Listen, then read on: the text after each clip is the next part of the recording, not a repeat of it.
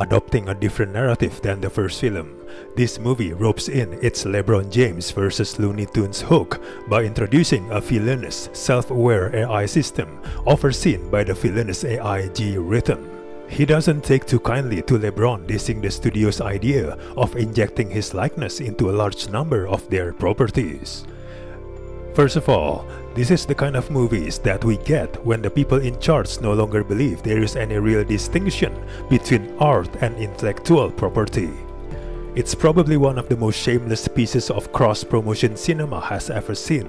This sequel stuffs so many pop culture cameos into 115 minutes. This movie can't seem to decide who this film is for, and probably no one at Warner Bros. is aware either loaded with nostalgic references to its predecessor and the expansive worlds of Looney Tunes, Game of Thrones, The Wizard of Oz, Harry Potter, DC Comics, and just about every other lucrative IP under the Warner Bros. umbrella. This movie is a nauseating example of product placement in overdrive. Not since the Lego movie, also released by Warner Bros., has there been so much cross-promotion in a movie. It's a cynical exercise in marketing that makes you want to walk away in disgust.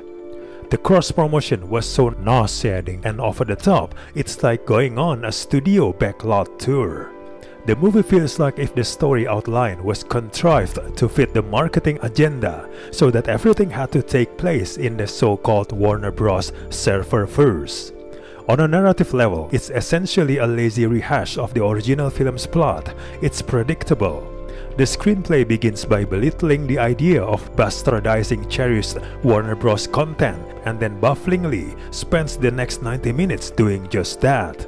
It's a strange move to have your protagonist literally scoff at the suggestion of inserting a foreign character into an existing IP and just a few scenes later, the movie is doing exactly that. If you're over 12 and not that into basketball match between cartoon characters and ghoulish aliens, this movie is real boring. The presence of these worlds, governed by their own iconic characters and aesthetic, makes it clear that this movie isn't really a story, or even a movie. It's a video game you cannot play and a theme park you cannot explore. Watching a group of cartoons play a basketball video game is about as enjoyable as sitting behind your best friend while they play Mario Kart. The big showdown arrives with 45 minutes still left on the clock, which is almost as long as an actual game of basketball. If you do find yourself tiring of the rather repetitive action on the court, at least you can kill time by playing a game of Spot the Cameo. Overall, this movie is mostly child-friendly fare that proves a colorful, inexplicable distraction that's unlikely to retain any type of legacy for itself. This sequel rarely takes the time to stand on its own two feet.